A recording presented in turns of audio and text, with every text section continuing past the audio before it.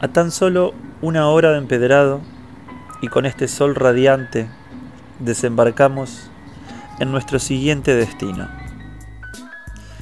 Bellavista, con sus veredas, sus árboles, su cielo, sus colores, su gente, sus casas antiguas, sus construcciones coloniales y sus historias. Por supuesto, en el corazón de la ciudad, su plaza frondosa y colorida. Se suma a esta lista de características que les vengo nombrando. Características que hacen de esta ciudad un lugar con un nombre literal, Bella Vista.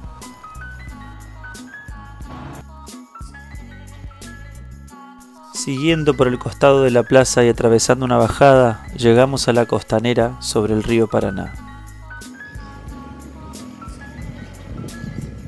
Atravesando toda la costanera, al final de su recorrido te encontrarás con el Parque de la Cruz y a un costado su camping municipal, con todas las comodidades para pasar una estadía agradable y económica. Sobre la costanera vamos a encontrar a cada paso estatuas y homenajes a artistas locales. Bellavista es una ciudad que ha dado a luz a numerosos artistas de diversas disciplinas a través de la historia. En la costanera también te podés encontrar a Pedro Ferrer, fundador de la ciudad, tomando mate a la vera del río Paraná, con un atardecer inigualable.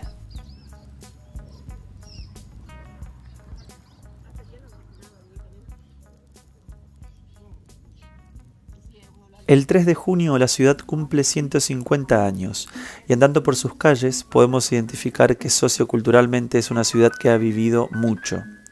Así que podemos afirmar que Bella Vista no es solo una cara bonita, sino una historia bonita también.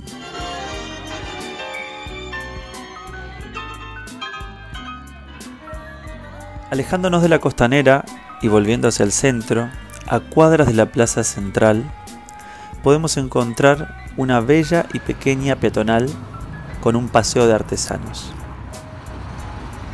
En esta manzana se encuentra ubicada la oficina de la Secretaría de Cultura. Y tan solo la vuelta encontramos el Paleo Museo Toropi, atendido por su perrita Chuchi. Volviendo un poquito hacia la plaza, nos encontramos con la Biblioteca Popular Sarmiento, que tiene la misma cantidad de años que la ciudad.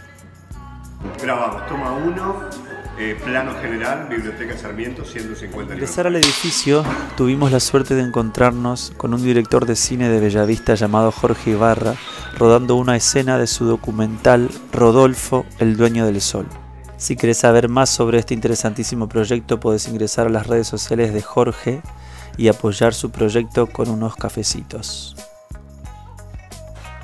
Bueno, ya conocimos un poco de esta hermosa ciudad, pero me imagino que se estarán preguntando, al igual que me pregunté yo, ¿qué onda con el arte callejero en esta ciudad? ¿Nos dejarán cantar acá? ¿Cómo nos recibirá la gente?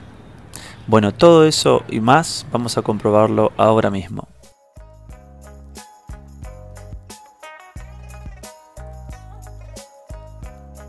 Bueno, como pueden ver, no solo que pudimos cantar, sino que hemos recibido muchísimo cariño y agradecimiento de todos los habitantes de esta ciudad.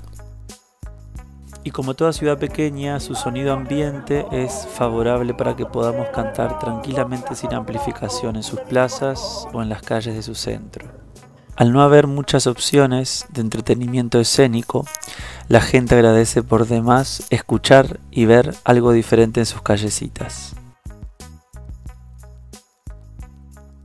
Bueno, entonces podemos afirmar que en Bellavista existe el arte callejero. Si andás por la ruta 27 cerca del río Paraná, no dudes en pasar por acá.